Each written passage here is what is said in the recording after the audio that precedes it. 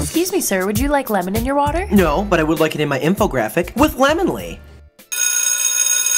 It's 314, better known as National Pi Day. Pi, or 3.14, is one of the most common constants in math, and National Pi Day expresses the importance of math and science in schools. In PiZone.org, it's an innovative approach to learning, experiencing, and celebrating pi. To celebrate, I could eat 3.14 apple pies, but instead, I bought this box of sidewalk chalk. Time to have some fun. Mmm, ice cream sidewalk chalk.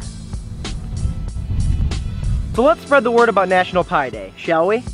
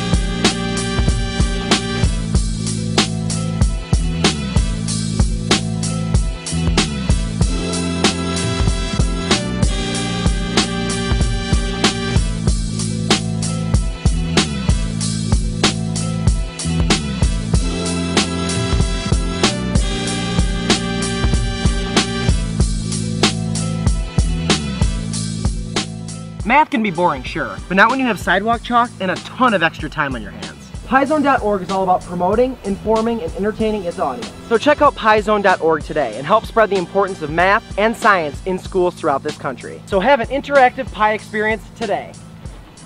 Uh-oh, recess is over. I gotta get back to class, but thanks for watching. National Pi Day, check it out.